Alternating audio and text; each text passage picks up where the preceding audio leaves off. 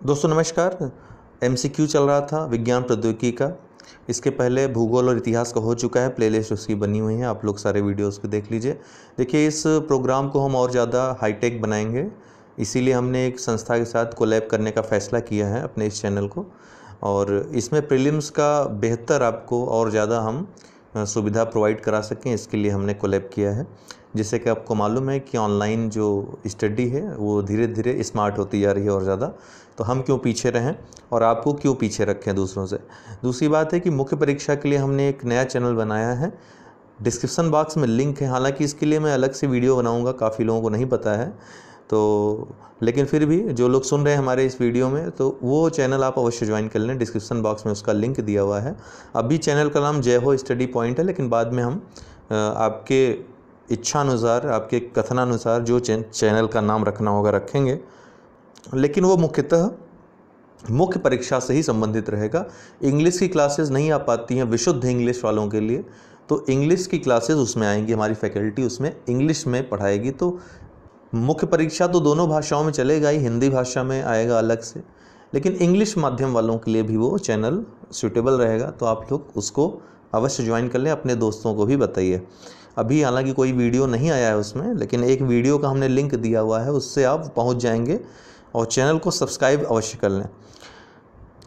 चलिए शुरू करते हैं। ट्रिप्स समझौते के अंतर्गत बौद्धिक संपदा नहीं माना गया है।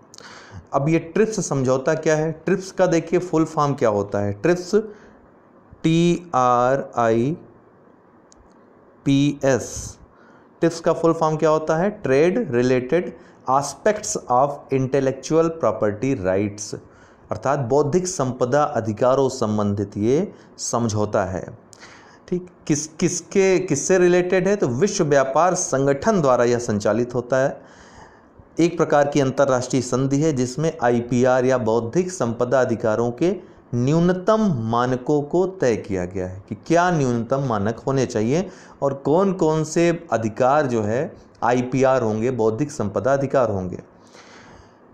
दरअसल इसको उन्नीस सौ चौरानवे में गैट जो है, general agreement on trade and tariff, जो कि विश्व व्यापार संगठन के उरुग्वे चक्र, जो कि आठवां चक्र, कई सारे चक्र हुए, कई सारे बैठकें हुई, जिसमें आठवां चक्र जो है, उरुग्वे चक्र, उसमें जो है, ट्रिप्स समझौता हुआ था।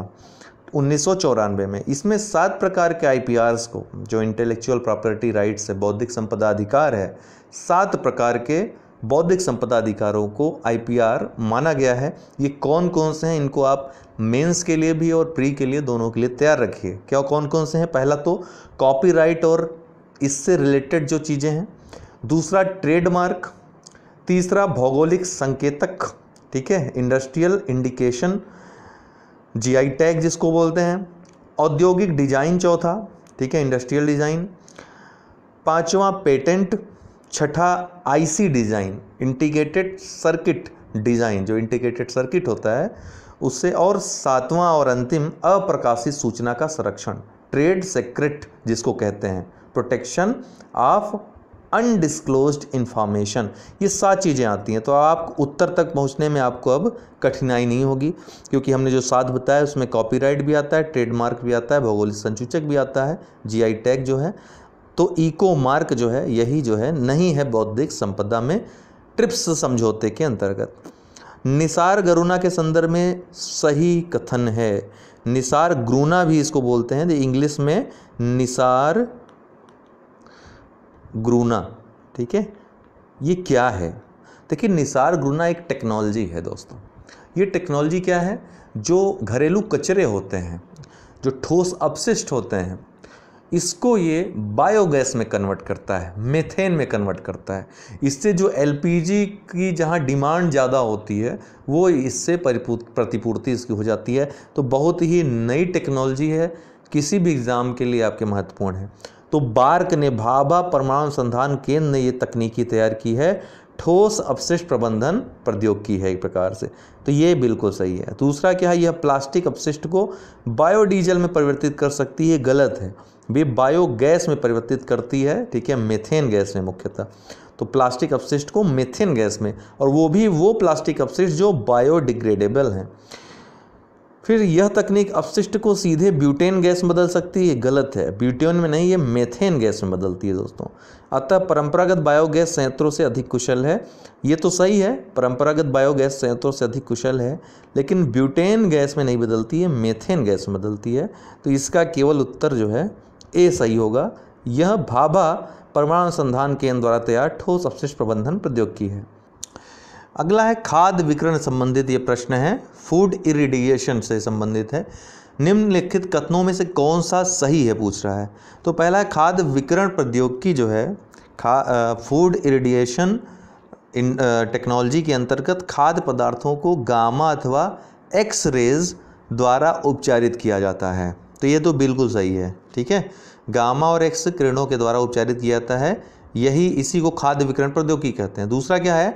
इस विधि से उपचार, एक प्रकार से ये जो खाद्य परिरक्षण है, उसका एक नवीनतम तरीका है खाद्य विकरण से। ठीक है, खाद्य विकरण टेक्नोलॉजी। इस विधि से उपचारित खाद्य पदार्थों के सेवन से मानव शरीर नकारात्मक रूप से प्रभावित होता है, बिल्कुल गलत है।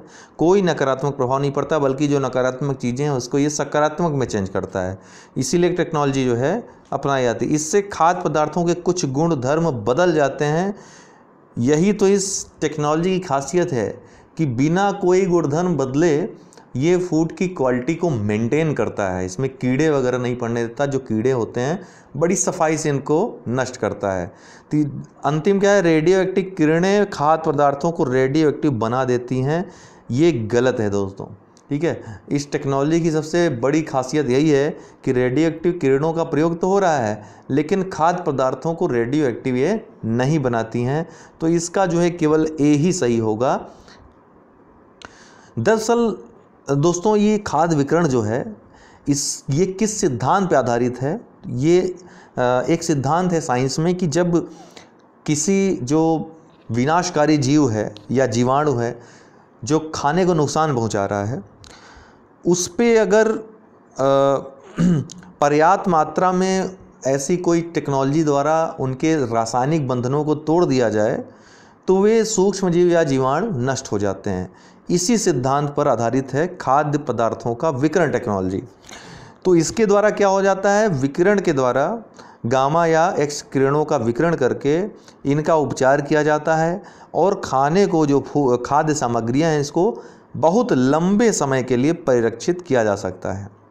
तो विकृत पदार्थों में न तो कीड़े लगते हैं, न ही वे सड़ते हैं, और इस टेक्नोलॉजी के द्वारा जो महत्वपूर्ण चीज़ें हैं, जो समय समय पर जिनकी डिमांड बहुत ज़्यादा बढ़ जाती है और पूर्ति उतनी नहीं हो पाती, जैसे आलू हो गया, प्याज हो गया, फल, जो बहुत ज़्यादा सड़ने के भी चांसेस होते हैं इनके तो इनको परिरक्षण इनका किया जा सकता है इस टेक्नोलॉजी के द्वारा। अगला प्रश्न है, रक्त क्या होता है? संयोजी ऊतक होता है कि उपकल्पित ऊतक होता है? कौन सा ऊतक होता है? तो रक्त जो है, ब्लड, ये कनेक्टिव टिश्यू है दोस्तों। ये इसका उत्तर कई बार यह प्रश्न आ चुका है, लेकिन चूँकि महत्वपूर्ण है, इसलिए मैंने इसमें शामिल कर लिया। संयोजी ऊतक है कनेक्टिव टिश्यू है। जो रक्त जो है, वो रुधिर वाहिनियों में प्रवाहित होता है, ठीक? और ये तरल संयोजी ऊतक है। और रक्त के जो तरल भाग हैं, उनको हम प्लाज्मा कहते हैं। रक्त के तरल भाग को प्लाज्मा कहते हैं। और इसी प्लाज्मा में रुधिर जो कड़िकाएँ होती हैं, वो तैरती रहती हैं। जो ब्लड सेल्स होते हैं, वो इसी प्लाज्मा में ही तैरते हैं। पूछता है कि मानव शरीर में रक्त की मात्रा, स्वस्थ मानव के शरीर में रक्त की मात्रा कितनी होती है? लगभग पाँच से छः लीटर होती है दोस्तों। ठीक है? अगला कथन देखिए, बहुत सरल है। प्रकाश संश्लेषण संबंधित है फोटोसिंथेसिस से। पृथ्वी पर कुल प्रकाश संश्लेषण का 90 प्रतिशत भाग जलीय पौधों एवं शैवालों द्वारा होता है। बिल्कुल सही है, ठीक है? लगभग 90 प्रतिशत भाग प्रकाश संश्लेषण का जो जलीय पौधे हैं और शैवाल हैं, उनके द्वारा होता है। जिसमें पचासी प्रतिशत भाग समुद्र में, जो कि समुद्र में शैवाल मुख्यतः पाए जाते हैं, उनके द्वारा, और पाँच प्रतिशत भाग जो है नदी और तालाब में जो स्थित वनस्पतियाँ हैं जली पौधे और शैवाल उनके द्वारा होता है, ठीक है? और दूसरा जो है, तीस से पैंतीस प्रतिशत तापक्रम प्रकाश संश्लेषण की उच्च दर है, ठीक है? ये भी बिल्कुल सही है। ये उच्चतम अवस्था है, ठीक है? इससे अधिक का प्रकाश भी हानिकारक है। किसी स्टूडेंट ने हमसे पूछा था कि क्या फ़ोटो, फोटोसिंथेसिस ये कृत्रिम भी हो सकता है? बिल्कुल हो सकता है। कृत्रिम भी हो सकता है। बल्ब आदि की रोशनी में भी पौधे प्रकाश संश्लेषण की क्रिया करते हैं। ठीक है ना? तो इसका जो है आंसर दोस्तों, दोनों सही है। सी इसका उत्तर होगा। लिपिड्स का पाचन निम्नलिखित में से किसकी उपस्थिति में होता है? तो देखिए, लिपिड्स का पाचन तो मुख्यतः लाइपेज करता है। ये लाइपेज जो है, आंत से निकलता है। ठीक है, प्रमुख पाचक एंजाइम है। ये एक एंजाइम है लाइपेज ये लिपिड्स का पाचन करते हैं। लेकिन जो पित्त रस है, जो पित्त अम्ल है ठीक है बाइल जो जूस है, इसको बाइल जूस कहते हैं इंग्लिश में, ये भी एक क्षारीय तरल है और इसमें कोई एंजाइम तो नहीं होता, लेकिन फिर भी यह लिपिड्स के पाचन और अवशोषण में महत्वपूर्ण भूमिका निभाता है। लेकिन पेप्सिन दोस्तों जो है, ये प्रोटीन का पाचन करता है प्रोटीन के पाचन में महत्वपूर्ण भूमिका निभाता है। तो इसमें जो है, उत्तर जो है, पित्त, अम्ल और लाइपेज दोनों होगा ए और बी दोनों इसका उत्तर होगा डी इसका सही उत्तर है। निम्नलिखित में से किन क्षेत्रों में अतिचालकता प्रभाव का प्रयोग किया जाता है? अतिचालकता मतलब सुपर कंडक्टिविटी देखिए दोस्तों चालक होते हैं जिसमें करंट बहती है, जिसमें विद्युत धारा बहती है, उसमें कुछ न कुछ प्रतिरोध पाया जाता है। विभिन्न धातुओं के तारों का भिन्न भिन्न प्रतिरोध होता है। तो जो सामान्य विद्युत के नियम हैं, जो इलेक्ट्रिक के नियम हैं इलेक्ट्रिकल्स के जो नियम हैं, वो इसमें लागू होते हैं। लेकिन 1911 में एक वैज्ञानिक थे केमरलिंग ओन्स, नाम याद रखिएगा। Kamerlingh Onnes. उन्होंने देखा एक तांबे के तार में कि एक निश्चित ताप के नीचे यदि उसको ठंडा किया जाता है तो उसमें जो प्रतिरोधकता होती है, वो समाप्त हो जाती है। ठीक है? प्रतिरोध जो है शून्य हो जाता है। इसी को उसने सुपर कंडक्टिव अति चालकता नाम दिया। क्योंकि ऐसे में जब प्रतिरोध शून्य हो जाता है तो चालकता क्या हो जाती है? अनंत हो जाती है। चालकता अनंत हो जाती है। ठीक है? याद रखिएगा, ये भी आता है कि चालकता कितनी होती है? इसकी अति चालक की चालकता कितनी होती है तो अनंत होती है, प्रतिरोधकता कितनी होती है? प्रतिरोध शून्य हो जाता है। प्रतिरोध होता क्या है? सामान्य भाषा में दोस्तों, प्रतिरोध मतलब विद्युत धारा का प्रतिरोध करना। ठीक है, जितनी करंट बह रही है, उस करंट का विरोध करना और जो वास्तविक करंट है और जो आदर्श करंट है, उसमें अंतर उत्पन्न हो जाना। यही है प्रतिरोध प्रभाव। अब तक लगभग 20 या उससे अधिक ऐसे धातुएँ खोजी जा चुकी हैं, जिसमें एक निश्चित ताप पे नीचे अगर ठंडा किया जाए तो वो अतिचालक प्रभाव उत्पन्न करती हैं। उस निश्चित ताप को ही क्रांतिक ताप कहा जाता है क्रिटिकल टेम्परेचर कहा जाता है। कई बार ये भी पूछा गया है। तो इसका उपयोग किसमें किया जा सकता है? ढेर सारे उपयोग हैं अतिचालक के। बिना छत के विद्युत ऊर्जा संचालन बिल्कुल सही। शक्तिशाली चुंबकीय क्षेत्रों की स्थापना, ये भी बिल्कुल सही है। चिकित्सा क्षेत्र में ये भी बिल्कुल सही है। तो ये तीनों ही सही होगा। ये भी सही है। तीस, तीसरा क्या है? चिकित्सा क्षेत्र में तो चिकित्सा क्षेत्र में भी इसका उपयोग होता है। मुख्यतः जो हृदय से संबंधित रोग हैं ठीक है? एक डिवाइस है उसका नाम है अतिचालकीय क्वांटम इंटरफेरेंस डिवाइस स्क्विड जिसको कहते हैं। स्क्विड के बारे में पूछा भी जा चुका है कई बार तो स्क्विड इसका प्रयोग हृदय रोग के उपचार में होता है। ये अतिचालक सिद्धांत पर ही आधारित है। मैग्नेटोकार्डियोग्राम एक डिवाइस है, उसकी सहायता से हृदय में विद्युत धारा का चयन किया जाता है और उससे जो हृदय घात होता है, उसके खतरे को ख़त्म किया जाता है। तो आप देखेंगे वर्तमान में जो हृदय उपचार जिनका जिनका होता है, एक मशीन उनके हृदय में फिट कर दी जाती है। तो वो भी अतिचालक सिद्धांत पर ही आधारित है, जो वर्तमान में जो उच्च प्रौद्योगिकी यूज़ की जाती है, वो अतिचालकता से ही है। तो इन सभी क्षेत्रों में अतिचालक का प्रभाव है, डी इसका उत्तर है। पोलेराइड के संबंध में निम्नलिखित कथनों में से कौन सही है? इसका उपयोग रात में सामने से आने वाले वाहन को की तेज रोशनी से उत्पन्न चकाचौध से बचने में किया जाता है। देखिए, पोलराइड की बात करें दोस्तों तो पोलर का संबंध मतलब होता है ध्रुव। तो समतल ध्रुवित प्रकाश, समतल ध्रुवित प्रकाश उत्पन्न करने की एक बहुत ही महत्वपूर्ण विधि है, व्यवहारिक विधि है, सुविधाजनक विधि है। तो इसका उपयोग अक्सर रात में आने वाले वाहन की तेज रोशनी से उत्पन्न चकाचौंध से बचने में किया जाता है। अक्सर आप देखेंगे, जो गाड़ियाँ आ रही नई नई उसमें ये लगा रहता है। दूसरा, इसका उपयोग धातुओं के प्रकाशीय गुणों का अध्ययन करने तथा क्रिस्टलों के विश्लेषण करने में होता है।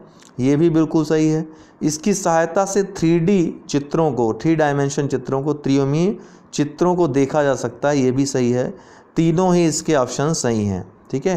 तो पोलेराइड के संबंध में तीनों ऑप्शन सही है, सभी सही है। तो दोस्तों, आज के लिए इतना ही। नीचे दिए गए डिस्क्रिप्शन बॉक्स में जा के, उस वीडियो को ऑन करके चैनल अवश्य सब्सक्राइब कर लें। बहुत बहुत धन्यवाद।